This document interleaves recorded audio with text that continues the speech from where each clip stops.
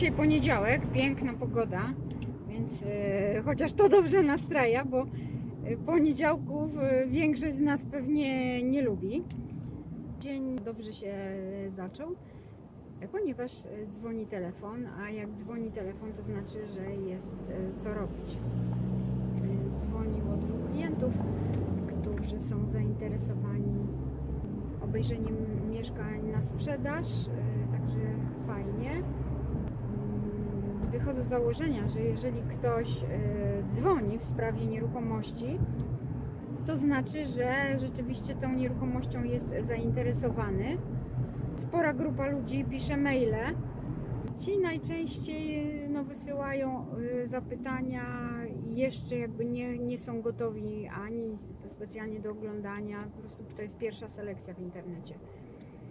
E, Natomiast ktoś, kto telefonuje, ma określone y, kryteria, tak, obejrzał coś tam, wybrał sobie i dzwoni już w sprawie ofert, które go rzeczywiście interesują i chce je oglądać, więc staram się, żeby to było jak najszybciej.